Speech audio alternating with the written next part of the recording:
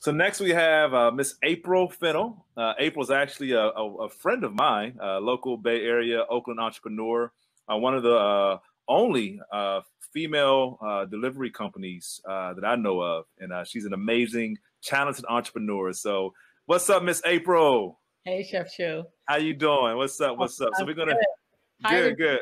We're gonna hand it over to you. Okay. Okay. Woo! I've been waiting a long time. It seems like. Hey, everybody. My name is April Fennell, and I'm the founding CEO at PIIKUP. PIIKUP is the trusted and reliable delivery support for businesses. We hope to use delivery as a tool to uplift people and empower community. But three years ago, when I started this business, I didn't just have a moment where I was like, oh my God, I'm going to start a delivery service and it's going to be great. Not at all what happened. What was happening for me three years ago is I was reflecting on my journey and there were things that I felt like were missing um, in my experience working in uh, corporate spaces or in the private sector that I wasn't able to show up as my whole best self. And that might be challenging for a person like myself that can check so many of the boxes. We know what those boxes are, right? All those questions that they ask you. Imagine checking those boxes and being fearful that if I check this box, then I'm not going to be received. Um, as a Black woman, as a person with a disability, as the L and LGBTQ, um, as a formerly incarcerated person, a single parent, a trauma survival survivor, and um, a person, a college graduate, but also with a lot of student debt that I just wasn't able to bring all of those layers of myself to um, my my jobs, and it left me feeling really, really empty, it, and it left me feeling unsafe even though the space may have been diverse. Um, safe and diversity didn't seem to be working out uh, for me. And it really came to a head right about the time that um, we lost Oscar Grant and I was moving back to the Bay Area.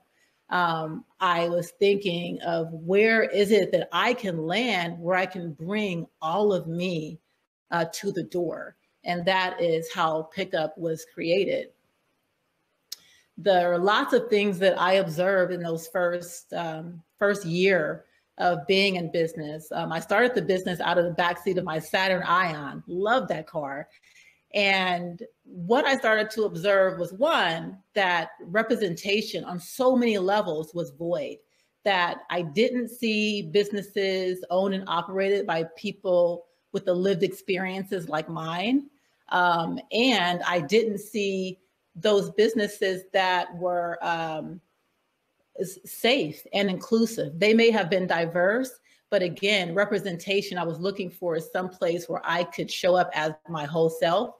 Um, and I was observing that that was just not there. I was also observing that there were a lot of gigs out there, but there weren't enough jobs that were creating that safe and inclusive work environment. And also, we're paying a living wage. There was a lot of focus on tech, not a lot of focus on people. Um, which brings me to that third thing that I observed and problem is that the workforce was disengaged. Trying to hire and recruit people, I saw so many broken folks, folks that have lived experiences that were similar to mine, but that they were not really showing up, um, embracing all of that. They were very much, uh, you know, head down, just kind of um, not showing up with the confidence. And that was a problem,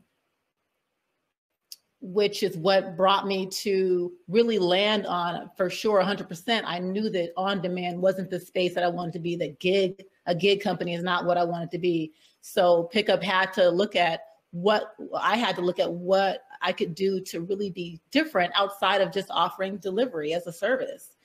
And what I landed on, and what's bringing me a lot of um, gratification, and what my team members are plugging into, is not just delivery. We get to support our grocery delivery clients and feel like we're a part of the solution instead of being part of the problem. We get to support our wholesale clients with getting that food from the food manufacturer to the grocery store. We get to support our retail customers with pivoting to now be more direct to consumer facing and we get to support restaurants that were struggling because now we have social distancing, distancing um, uh, things that we have to focus on. to really um, help them stay afloat and get uh, more projects that are feeding vulnerable population groups. Our team members get to plug into being, again, part of the solution and not the problem. We get to help local businesses um, create a legacy um, and make the relationship not just transactional. But there had to be more. I mentioned that the workforce that um, and recruiting was really challenging because the workforce was really disengaged.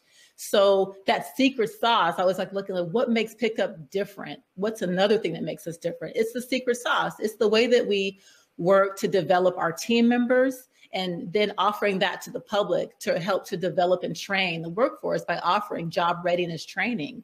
Because at every stage of life, whether somebody is starting over, re-entering the workforce, or whether they're sorry to interrupt you, Miss April. Your time is up. but wonderful, wonderful job. Um, obviously, uh, it's an amazing people story that you're sharing with us. Um, so, this, you know, really love to hear the people stories. So we're going to invite the um, the panelists back on. Did you have an ask? And if if you yes. didn't, can you say what that is?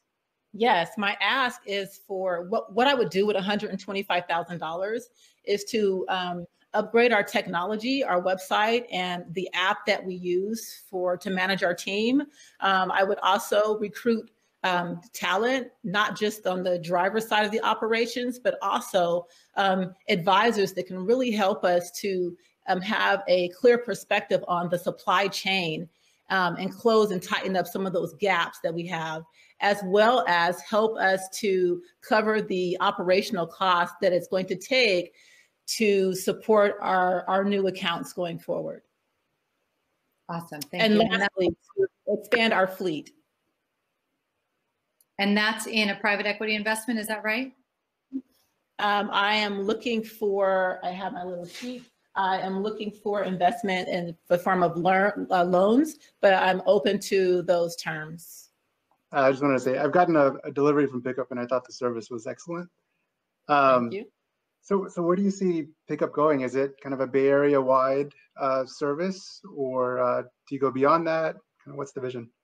Yeah, the vision is to expand um, nationally. However, we are hyper local right now. I think that there's a lot of room to have some positive impact right here in our backyard of the Bay Area, the Valley, Sacramento, um, and San Jose. Those are the next areas that we are looking to expand service. And the customers that we support, our business community is amazing. And they're already taking us to those areas with their growth. And so um, if if we're not there, I'm not sure how they're gonna be there. Not a question for April, but uh, or I guess it is a question. Is have you already been in contact with Rediff, and if not, can I make an introduction for you? No, I haven't. Absolutely. Okay. Awesome, awesome, awesome. Well, that's a great connection. It definitely reaches uh, what you're trying to accomplish, uh, April. So